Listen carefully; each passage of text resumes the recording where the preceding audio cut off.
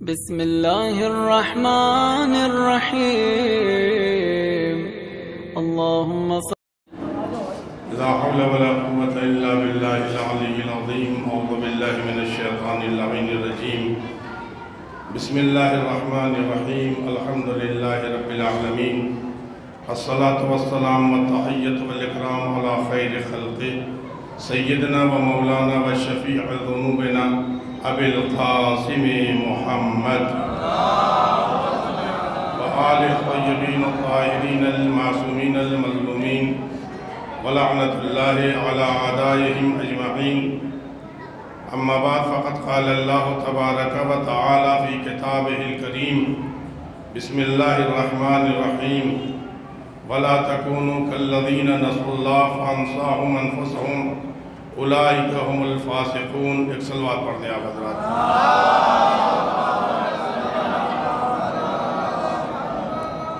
अगर आप हजरात इधर आ जाएँगे तो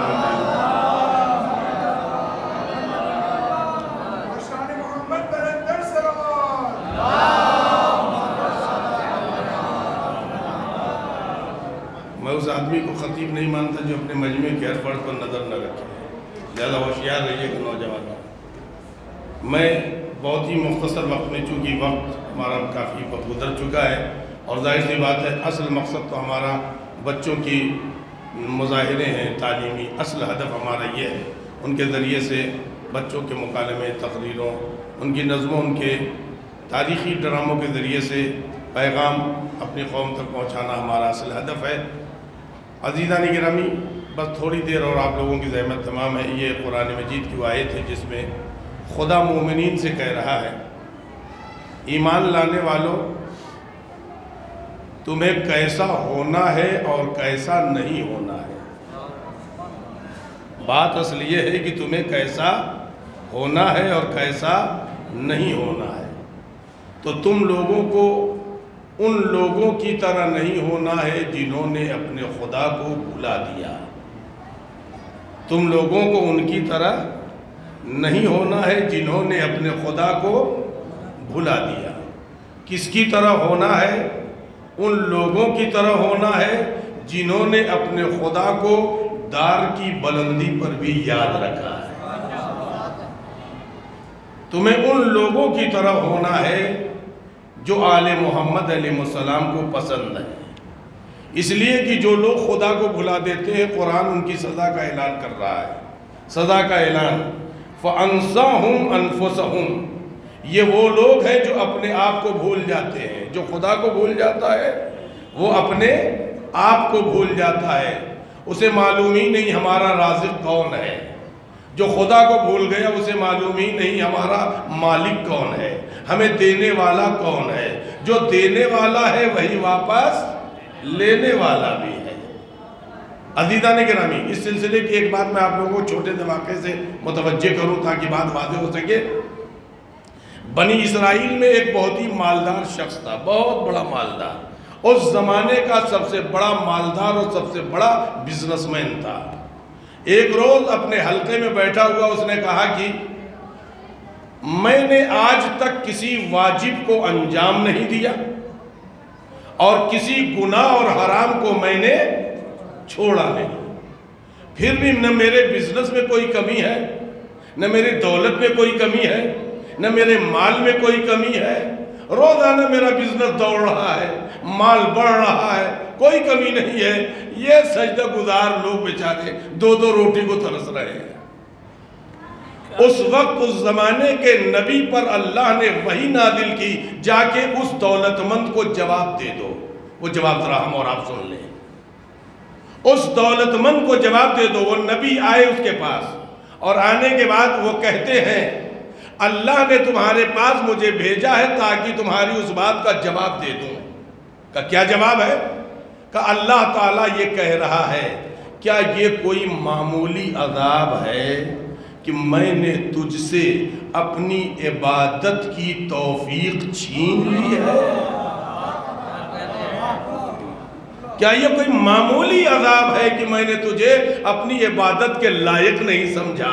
मैंने तुझे अपनी मुनाजात के लायक नहीं समझा। तुझे मैंने अपने सजदे के लायक नहीं समझा। अजीज़ा ने गिरामी, जिन मोमिनीन ने और यहाँ की जिस अंजुमन ने, अफराद ने इतना बड़ा काम किया है, इदारे मकातिब के जेर तमाम इतनी बड़ी कॉन्फ्रेंस करके ये दो रकात नमाज़ शुक्र अदा करें। अल्लाह ने इतने बड़े काम के लिए तुम्हें मुंतखब किया है और तुम्हें पसंद किया है। सलवात पढ़े मोहम्मद वाले मोहम्मद।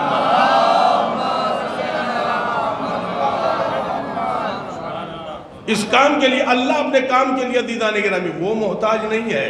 वो तो अपना काम किसी से भी ले लेगा। हमें अपने आप को इस लायक बनाना है कि खुदा अपने काम हमसे ले ले। हमें इस लायक बनना है। खुदा अपने काम हमसे ले ले। हमें इस लायक बनना है। हुसैन अपना आजादार बना ले। हमें इस लायक बनना है। फातमे जहरा हमें पुरसे के लायक समझ ले। हमें इस लायक बनना है। अब्बास का आलम उठा सके। हमें अपने आप को बनाना है, जीजानी गिरामी इमाम जाफ़र सादिक सलाम से। अगर आप लोग बाबा दे बुलंद सलवात पढ़ेंगे तो मैं ज़्यादा देर तक नहीं पढ़ूँगा।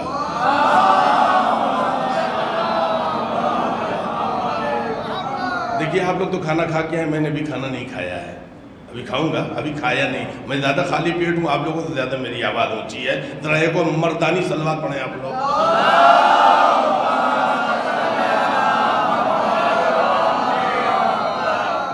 इधर के नौजवान भी सलवात बाबा दे बुलंद पढ़ दो।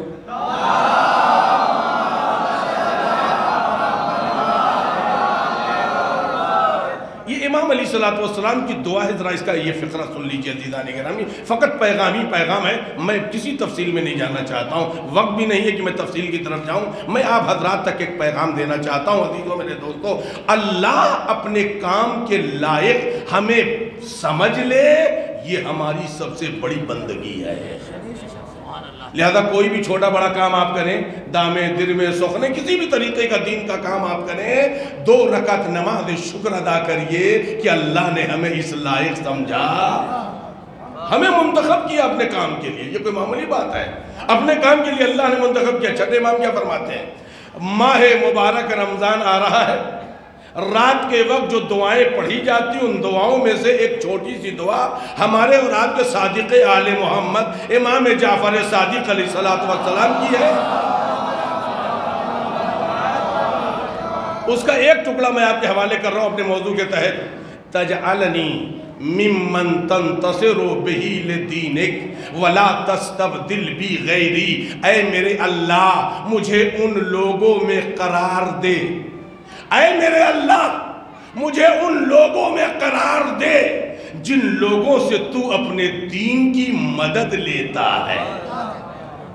मेरे मालिक, मुझे तू उन लोगों में से करार दे, उस गिरोह में मुझे करार दे, उस काफिले में मुझे करार दे, जिन लोगों से तू अपने दीन के लिए मदद लेता है।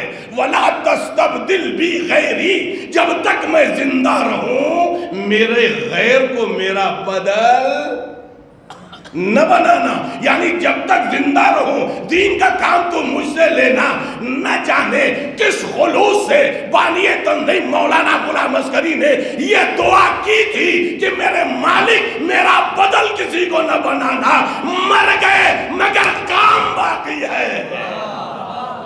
मर गए, मगर अमल बाकी है। और अब तक इसकी कोई मिसाल इस इदारे की कायम नहीं हो सकी। इसलिए कि बानिय तंजीम ने कौम की ज़रूरत के तहत इदारा कायम किया था, कौम की पुकार के तहत इदारा कायम किया था, कौम के तकाजे की बुनियाद पर इदारा कायम किया था। और इस इदारे ने भी फ़कत लकीरों पर चलना नहीं सीखा, बल्कि तरक्की के शाना बशाना होकर के इदारा कदम आगे बढ़ाता रहा। सोशल मीडिया का ज़माना आ गया तो दीन की तालीम सोशल मीडिया के ज़रिए जारी किया इंटरनेट का जमाना आ गया तो ऑनलाइन मकातिब जारी करके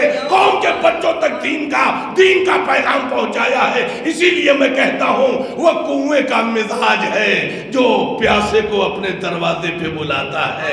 दरिया का मिजाज ये है कि अजीजा ने गिरामी प्यासे को अपने पास बुलाता है। ये इदारे तंजीमुल मकातिब है। प्यासों को अपने पास नहीं बुलाता। प्यासों के पास पहुँच के मकतब खदीर का पानी पिलाता है।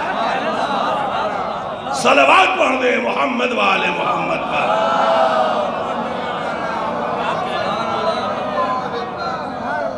मेरे नौजवानों, न जाने किस खलूस से बानिय तंजीम ने यह दुआ पढ़ी होगी। मेरे मालिक मुझे उस गिरोह में करार दे, उस गिरोह में करार दे जिनसे तू दीन के लिए मदद लेता है। न जाने ये कैसा खलूस था। बानिय तंजीम की दुआ में अजीजा ने गिरामी आज मौलाना गुलाम अस्करी का जिस्म हमारे दरमियान नहीं है, मगर गुलाम अस्करी का हदफ मौजूद है। इसलिए कि गुलाम अस्करी थे तो अपने मिशन का रिश्ता करबला से ऐसे जोड़ दिया, जब तक करबला रहेगी, मकसद करबला बाकी रहेगी। सलवात पढ़ते मोहम्मद वाले मोहम्मद। आखिरी बात, अपने नौजवानों तक पैगाम दे करके जहमत तमाम करना चाहते तो आखिरी बात और रब्त मसाइब अहमद तमाम आखिरी बात। अदीजों मेरे दोस्तों, ये याद रहे, अपने आप को दीन के लायक बनाओ। मेरे नौजवानों, अपने आप को दीन के लायक बनाओ। दीन के लायक जहालतों से नहीं बनोगे, इल्म की रोशनी चाहिए। सीरत अहल बैत की तालीम चाहिए, तारीख़ करबला चाहिए, तारीख़ अहल बैत चाहिए, मारिफ कुरान चाहिए।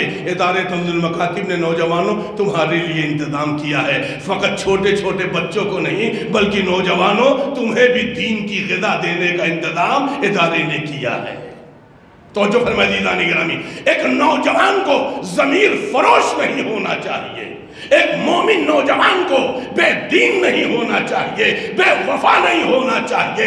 अपने आप को एक नौजवान को इस तरह गुलाम अली अकबर बना दे कि जमाने का इमाम कहे, अब तो मेरे चाहने वाले जवान तैयार हो गए हैं। खुदा मुझे इतने जहूर दे दे। आपका सोचे दीदा निगरानी एक छोटी सी बात है, मैं नौजवानों को फ़कत मुतवजह करने के लिए हज्जाज इब्न यूसुफ सकफ़ी के पास एक नौजवान को लाया गया। मैं फ़कत मुख्तसर लफ्ज़ों में ये बात कहने जा रहा हूँ। लाया गया। हज्जाज ने पूछा, तुम अली के चाहने वाले हो? अब बिल्कुल है। बिल्कुल है। अली का चाहने वाला मसलहत के हाथों पे बैत नहीं करता है। अली का चाहने वाला चंद रोजा कुर्सी और चंद सिक्कों के बदले अपने ईमान को पथे पुश नहीं डालता है। तुम अली के चाहने वाले का बिल्कुल है। अली के चाहने वाले अच्छा कुरान पढ़ा तुमने? जवान ने कहा, पढ़ा और तुझसे अच्छा पढ़ा। पढ़ा और तुझसे अच्छा पढ़ा है। अच्छा तो कोई सूरत सुनाओ। अब आप लोगों का भी इम्तिहान है, जो उसने सूरत सुनाया है। अब आप लोगों का भी इम्तिहान है। वो नौजवान एक मरता अकड़ के, पूरे जोश और जलाल और जज्बे के साथ कहता है, बिस्मिल्लाहिर्रहमानिर्रहीम, इज़ा जा नसरुल्लाह। वल फतह व रईतन नास यखरुजून मिन दीनिल्लाह। कहिए मौली साहब। हैं? यद खुलून फ़ी दीन अली का चाहने वाला, वो तो कह रहा है, यखरुजून मिन दीनिल्लाह। मैं इतना नौजवानों को तर्जुमा बता दूँ ताकि बात वादे हो सके। यद खुलून फ़ी दीन दीन खुदा में लोग दाखिल होते हैं। हो रहे हैं, होते रहेंगे। इसने क्या पढ़ा? यह यखरुजून दीन खुदा से लोग निकल रहे हैं, निकलते रहेंगे।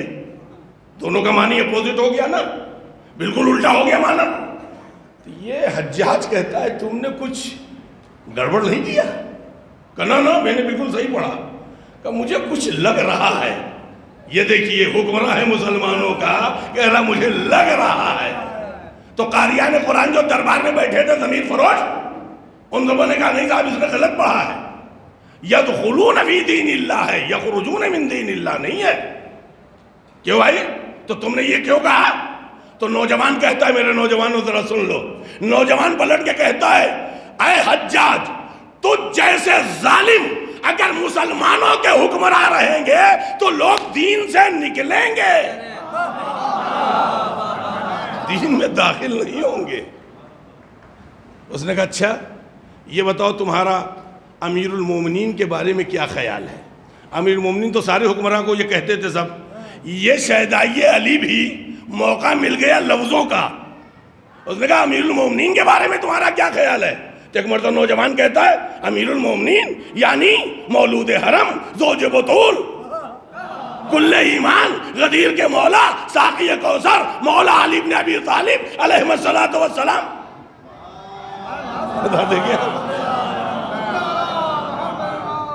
पलट पड़ाइए। इसने कहा मेरे ही दरबार में कसीदा अली का पढ़ रहा है। कहने, नहीं, मेरी मुराद अब्दुल मलिक इब्न मरवान से है। एक मरतबा इसने पलट के कहा, खुदा की लानत हो उस पर। वो फासिक है। कहा, तुम्हें साबित करना होगा। कहा, साबित करने के लिए दलील की ज़रूरत नहीं है। कहा, क्यों? कहा तुझ जैसे फासिक और जालिम को जो हुक्मरान बनाए, जिसकी जेल में साहिबान तकवा हो, जिसके कैद खाने में नमाज़ जब पढ़ने वाले हो, कुरान के कारी हो, हाफिज हो, जिसकी जेल में क्या?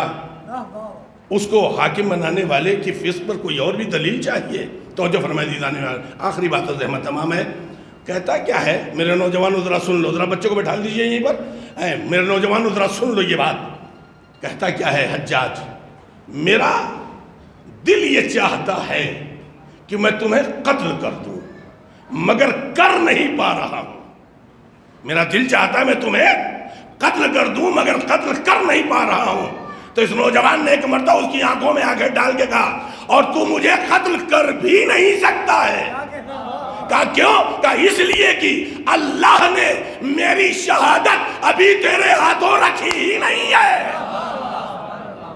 एक मोमिन को अजीजान गिरामी, इतना ईमान और यकीन पैदा करना होगा एक नौजवान को कि वो अपने सिलसिले में ये महसूस कर सके कि अल्लाह मुझे जब तक दीन की मदद लेता रहेगा, ज़िंदा रखेगा। अजीजों, मेरे दोस्तों, आज गैबत का ज़माना है। मेरे नौजवानों, मेरे इमाम को सिपाहियों की ज़रूरत है। मेरे इमाम को पासदारों की ज़रूरत है। आज इदारे चंद्र मकातिब के ये छोटे छोटे मकातिब जो चटाई और टाक पर बैठते हैं, इन्हें मामूली न समझिएगा।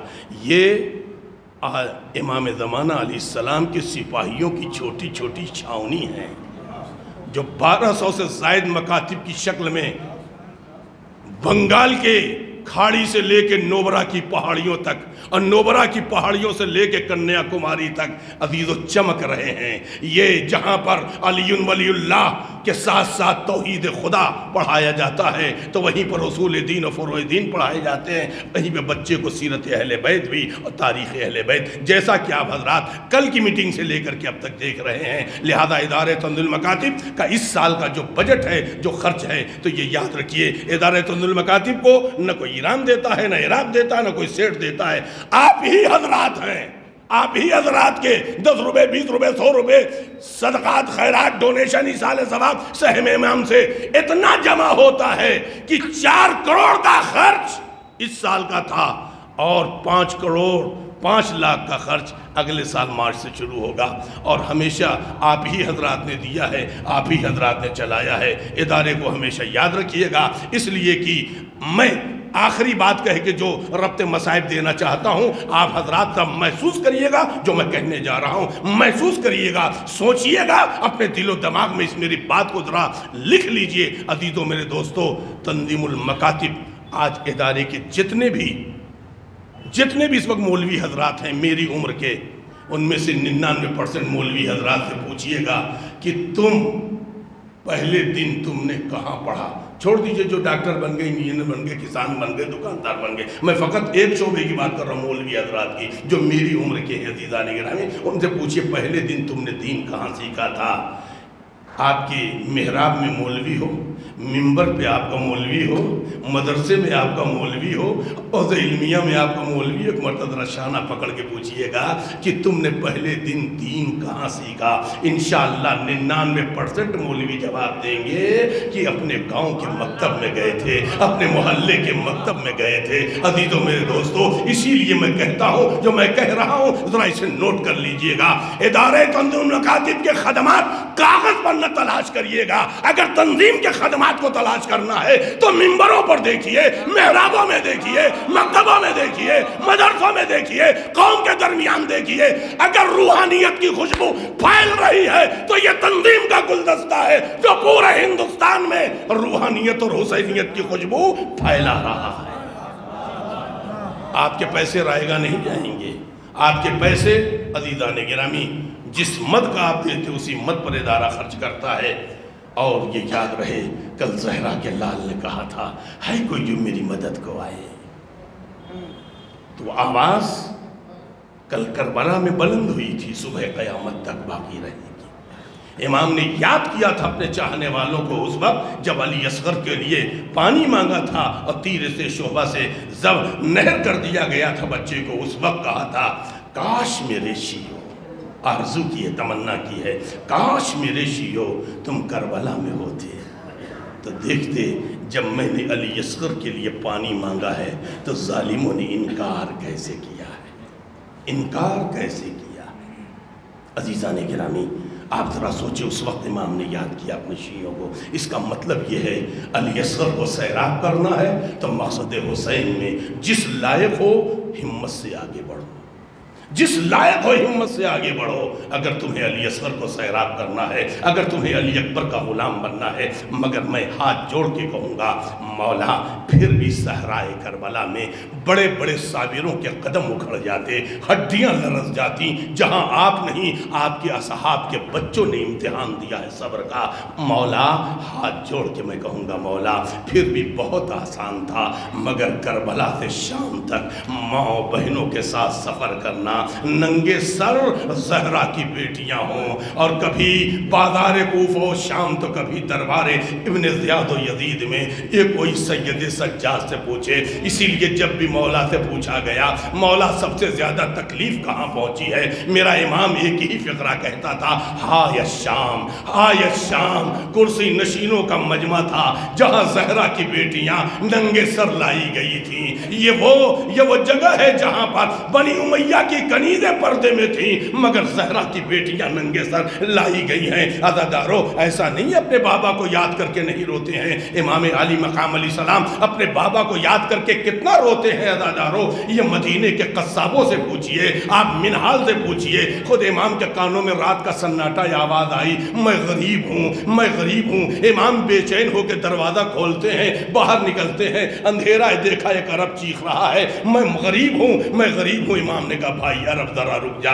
इतना बता, क्या तू गरीब है? कहा, बहुत गरीब हूँ फरतंद रसूल। कहा, ये बता, अगर तू अभी मर जाए तो तुझे गुस्ल मिलेगा? कहाँ मिलेगा? क्या तुझे कफन मिलेगा? कहाँ मिलेगा? क्या तुझे दफन किया जाएगा? कहाँ दफन किया जाएगा? बीमार करबला चीख के कहते हैं, फिर तू कहाँ का गरीब है? अरे गरीब तो मेरा बाबा हुसैन था। जजाकुमल्ला जजाकुमल्ला खुदाया, इन आवाज़ों पे अपनी रहमत नादिल फरमा, इन आंसुओं को रुमाल जहरा में जगह नाइल फरमा। गरीब तो मेरा बाबा हुसैन था, जिसे न गसल मिला, न कफन दिया गया।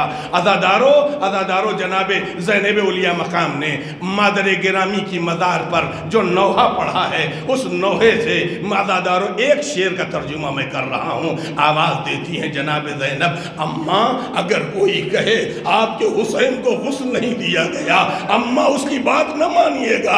आपके हुसैन को खून से नहलाया गया। अम्मा, अगर कोई कहे आपके हुसैन को कफन नहीं दिया गया, अम्मा, उसकी बात न मानिएगा।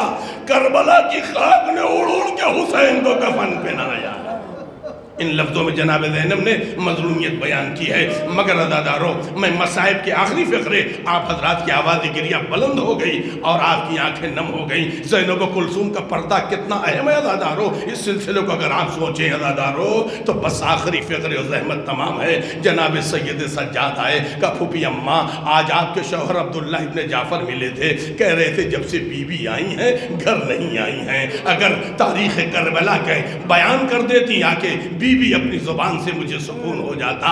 जनाब जैनब ने सर पे चादर डाला। अपने घर जा रही है अली की बेटी। रोती हुई जा रही है। इसलिए कि दोनों हाथ भरे थे जब घर से आई थी। आज जा रही है तो दोनों हाथ खाली हैं। चली गई। अब जो आई हैं, अब्दुल्ला कहीं गए हुए हैं। हुजरा बंद है। सहने खाना में बैठ गई। अपने बच्चे याद आए। अब जैनब रोने लगी। अदादारों अगर मसाइब सुनना चाहते हो तो ये फिक्रा सुन लो।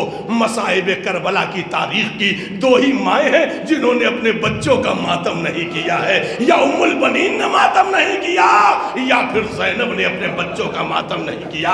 ये पहली बार है जैनब अपने घर में आई है तो अपने बच्चों को याद करके रो रही है। इतने में अब्दुल्ला इब्न जाफ़र आ गए, पहचान नहीं पाए। आवाज़ दी बीबी, आप कौन है जो मेरे दरवाजे में रो रही है? बीबी, मेरा घर तो यूँ ही उजड़ गया, मेरा गुलशन तो यूँ ही उजड़ गया।